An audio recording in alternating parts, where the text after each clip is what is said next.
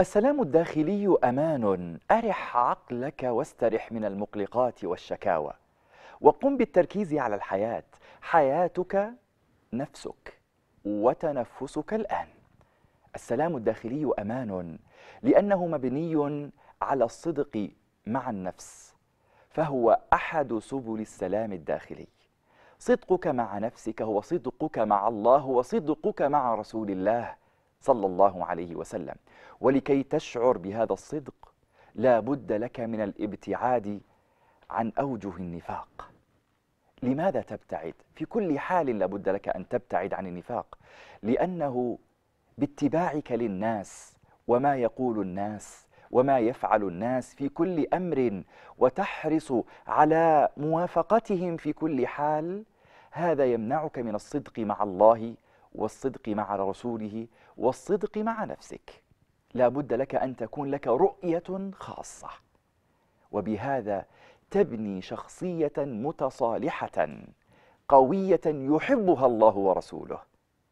نعم الشخص القوي هو الذي لا ينحني في أي موقف هو الذي يرسخ السلام الداخلي في قلبه وعقله ووجدانه فالسلام الداخلي أمان. وهو أسرع الطرق للإحساس بهذا العالم الذي نحن فيه. إن كنت صادقا مع نفسك كنت متصالحا معها شعرت بهذا السلام الداخلي كان إيمانك بالرضا وبالقناعة هو سبب وصولك للسلام الداخلي. قال روحي له الفداء. المسلم من سلم من سلم اولا ذاتا ثم سلم المسلمون. من لسانه ويده فبهذا يكون السلام الداخلي. السلام الداخلي أمان. لماذا؟ لأنه للوصول إلى هذا المقام العظيم عليك بأربع أسس. أربع أمور لا يمكن أن تصل للسلام الداخلي إلا بها. اولا السلام النفسي لتعيش في حياة هانئة والحب. تتعامل مع هذا الكون بالحب. وأن تتعلم. تتعلم في هذا الكون ما الذي يصلح لك وما الذي لا يصلح لك. وعليك بالذكرى الطيبة. لا تتذكر إلا طيبا هذه القواسم لو تجمعت شكلت لك سلاما نفسيا. شكلت لك طمأنينة داخلية.